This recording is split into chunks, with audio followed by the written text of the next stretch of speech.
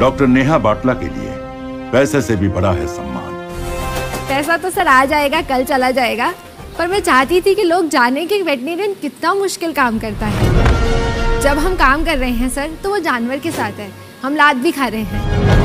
आप इसको पकड़ना वैसे खुल जाएगी। हम कभी पार्टी में या किसी नए इंसान से मिलते हैं तो इंट्रोडक्शन देते हैं ऐसे कि जी मैं डॉक्टर नेहा बाटला तो एक चमक आ जाती है आँखों में।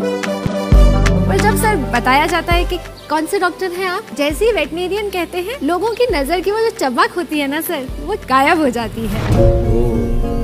मेरे लिए यहाँ आना इसलिए ज़रूरी था क्योंकि सर मैं यहाँ सम्मान पाने आई थी। बहुत ही सम्माननीय काम है आपका। कौन बनेगा करोड़पति आज रात नौ बजे से?